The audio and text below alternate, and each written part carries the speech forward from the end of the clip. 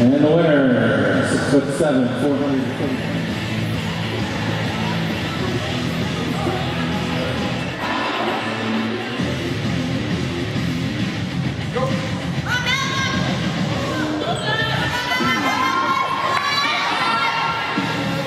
Good match here.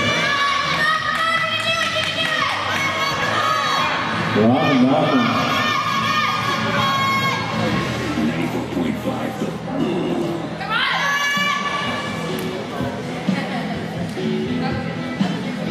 Okay, one foul on Malcolm for not trying to hold on.